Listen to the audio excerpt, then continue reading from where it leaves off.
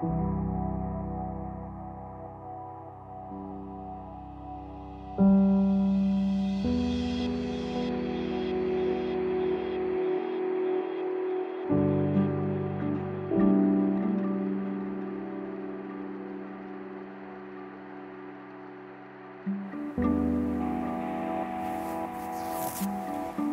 are real statements that professionals have used to describe victims of child sexual exploitation.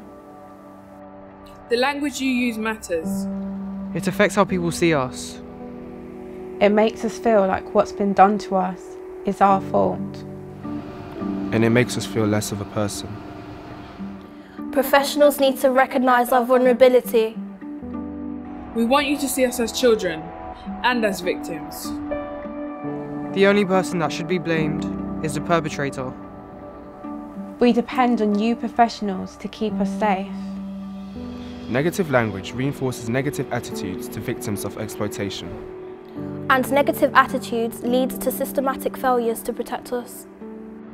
Helping us starts with the language you use, so choose it carefully.